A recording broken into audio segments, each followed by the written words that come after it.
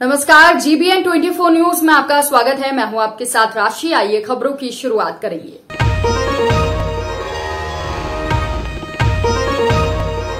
देवरी प्रखंड स्थित देवरी फुटबॉल मैदान में ब्रह्म ऋषि समाज द्वारा जिला स्तरीय दौड़ प्रतियोगिता का आयोजन किया गया, जिसमें देवरी प्रखंड सहित ज़िले के कई प्रखंड के प्रतिभागियों ने भाग लिया।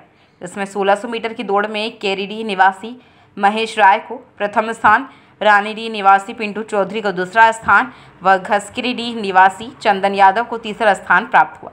वहीं उक्त सभी विजेताओं को बतौर मुख्य अतिथि उपस्थित प्रफुल्ल कुमार कप व मेडल देकर सम्मानित किया गया।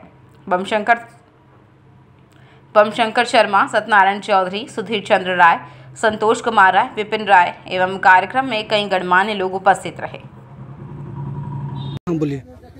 आज ये दौड़ प्रतियोगिता जो किया गया है, ये हम लोगों ने युवा लोगों में उत्साह जगाने के लिए किया है। हम लोग इस तरह का कार्यक्रम आगे भी करते रहे और करते भी रहेंगे। हम लोग चाहते हैं कि युवाओं को एक नया प्लेटफॉर्म मिले, ग्रामीण स्तर पर एक प्लेटफॉर्म मिले जो युवाओं में उत्साह वर्धन करे और आगे आने का मौका मिले।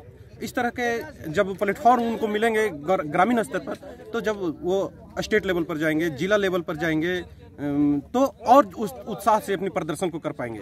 और इससे होगा क्या, जब उनको एक मेडल मिलेगा। मेडल मिलेगा तो ये उत्साह बढ़ेगा उत्साह बढ़ेगा तो अपनी और प्रैक्टिस को जारी रखेंगे वो। और प्रैक्टिस जारी रखेंगे तो संभवतः फौज में जाने का, सिपाही में जाने का उनको मौका मिलेगा। और इस तरह से नौकरी का भी आयाम बढ़ेगा। इस बात से